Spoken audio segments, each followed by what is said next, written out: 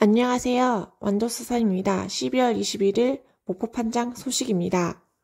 지금 보시는 화면은 오랜만에 왕특대 먹갈치가 나왔습니다.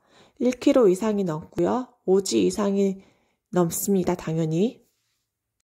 저는 경매를 받지 않았지만 이렇게 좋은 먹갈치도 있다는 걸 소개해 주고 싶어서 이렇게 영상을 찍었습니다. 또한 오늘 꼬리 파갈치가 나왔습니다. 엄청 싱싱하고 하지만 시세가 높은 편이었습니다.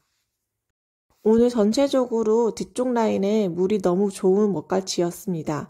그래서 저도 화면, 영상을 뒤쪽 라인부터 영상을 찍었습니다.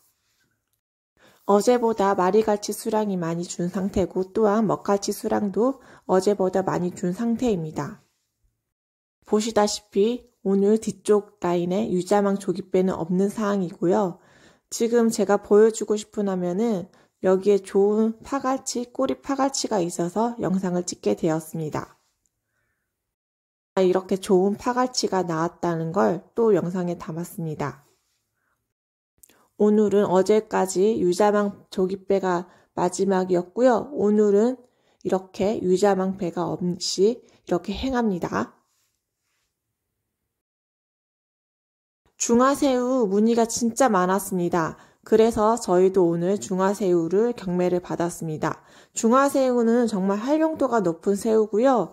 중화새우에다가 된장국이나 이렇게 밥반찬으로 먹어도 정말 맛있는 중화새우입니다. 그래도 중화새우 양이 어제보다 많이 나온 상태여서 가격 또한 굉장히 좋은 상태입니다. 신선도 또한 저희 또한 신선도 좋은 걸로 경매를 받은 상태입니다.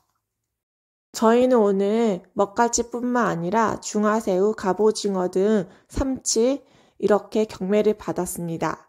삼치는 횟감용으로 경매를 받았고요. 그 다음에 먹갈치는 오미, 중갈치, 두띠 사이즈를 경매 받았습니다. 오늘도 항상 좋은 하루 되시길 바라겠습니다. 항상 고맙습니다.